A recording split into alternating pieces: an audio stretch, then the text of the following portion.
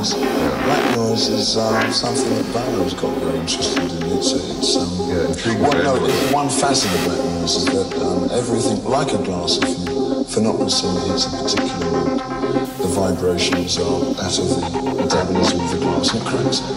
So black noise is the register in which you can create.